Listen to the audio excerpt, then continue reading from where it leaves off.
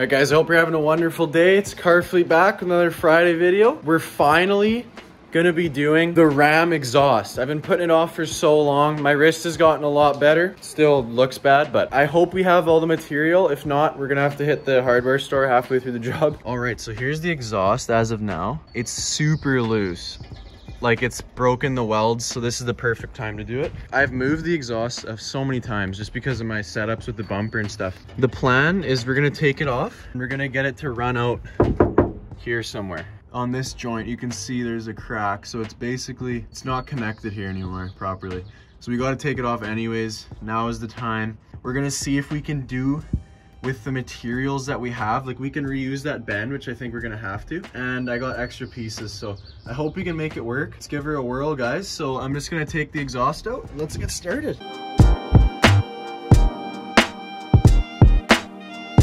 Exhaust is off. Where the exhaust ends right now that's actually it's pretty really stable. So exhaust right? It's gonna run straight a little further. So we're gonna have to go further and then put a connection and we're gonna have to run it over the frame right before this cross member and then out the side of the bed. So basically the hardest part's gonna be getting that, that over piece. Shouldn't be too bad, I just gotta make sure everything welds too. I don't want it to fall off like this one did.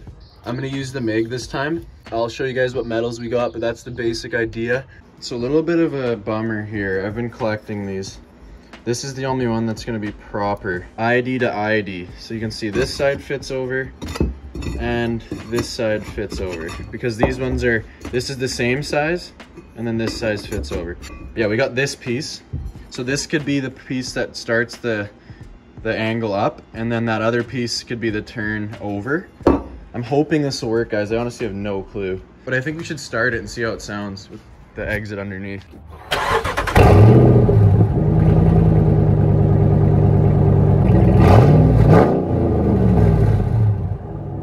right guys so i've been working away kind of cutting up a bunch of my old pipes to make this work. I'll show you guys what i got so far. It's all mocked up right now.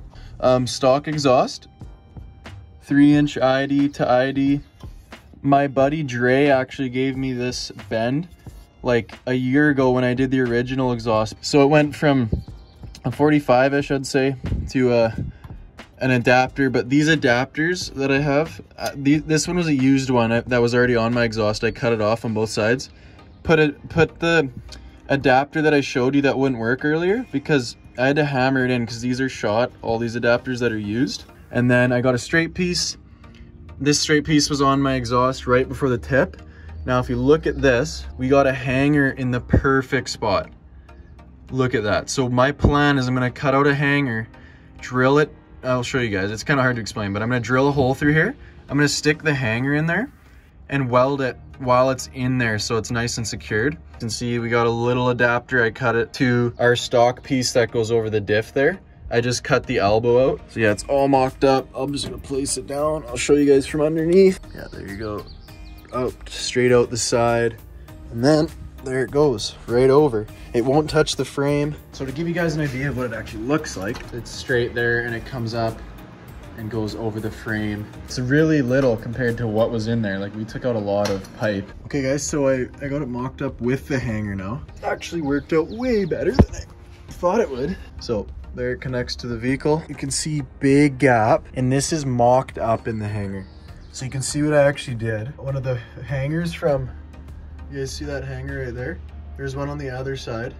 So I cut it off there on that side, drilled a hole and stuck it in the hole and it gives me a perfect hanger. I was gonna say as well, guys, with the body lift, I just have like so much more room to mess around with this stuff. Because if I was three inches lower, this would actually be hitting. So the three inch lift makes this a lot easier. Definitely 100% can still do it without it, but I thought I'd just throw that in. Just so you guys know, I have a body lift. This isn't bone stock. So hangers welded in. I use the MIG on it and it's not going anywhere. Like it's moving the whole truck before it moves. A reliable hanger, we're gonna paint it so we don't have any metal showing. Here's the exhaust, tacked. Nothing's moving anymore, it's all tacked. The next thing I'm gonna do is just weld it all together. All right guys, so we're gonna do some welds now. Lay some beads.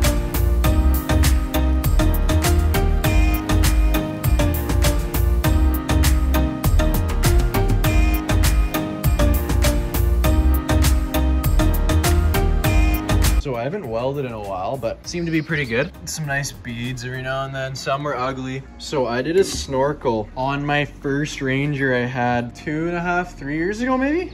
And I I luckily kept this because I was like, yeah, I'm probably never gonna use it again. Basically, a three inch that just fits perfect.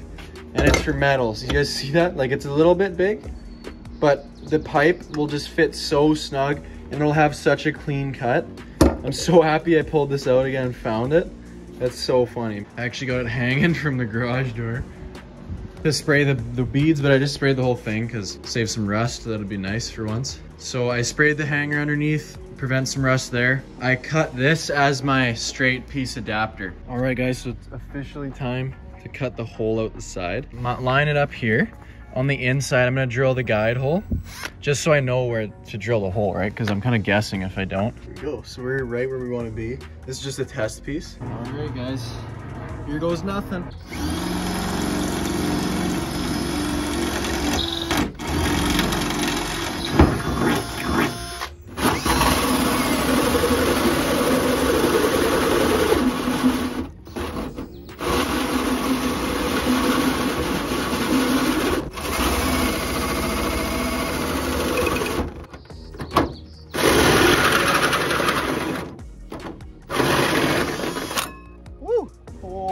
That's a perfect hole.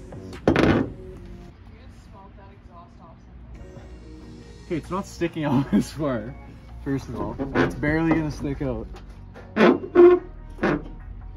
Alright guys, here it is. But you can see perfect circle. We got our mini adapter. So I got it cut. I thought the angle was gonna be different than it turned out. I actually don't mind the angle it's on. All fully welded now. I just have to put it to the vehicle.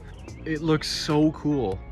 All right, so I trimmed it, guys. It's not exactly the right angle that I want it to be, but it's like really close. Okay, guys, so here's that plate that I talked to you guys about, about like dressing it up a bit. So I have all these dots on it. Those are gonna be drilled holes for bolts, and the bolts are gonna stay silver. The plate's gonna be black. So look how cool this looks, guys. Place it right there, right? It's gonna be black. The exhaust is gonna come through it. It's mint. I did, I used the same hole cutter for the middle. The rest I just used the grinder, just in finessed it somehow. Guys, check this out. That looks so good. Here, I'm probably gonna sand down this bit here. Look at this, guys. Look how good that looks. Just wait till it's black, the silver, matching the fenders and stuff. Woo! I love the way this looks. Gotta show the, the outcome. All done. Completed. No movement at all. So I actually ended up welding it, uh, welding it to the exhaust that was on the truck. And I also ended up cutting it and extending it longer with another adapter, but I did all that off camera. But yeah, it's all done, tightened up, painted black. And it looks so cool. And it sticks out just a little bit, which my original plan, it was like almost flush and I didn't really like it. So now it sticks out a bit. And we're about to start it for the first time.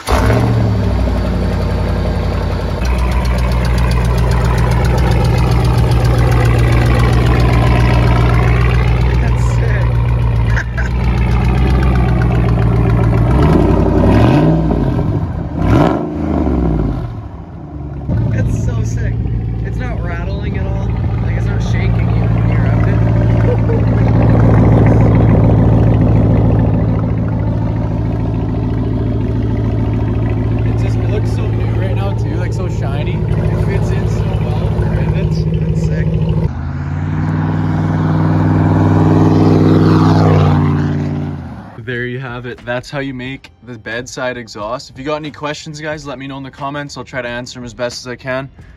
And we took it around a little drive yesterday. It was good.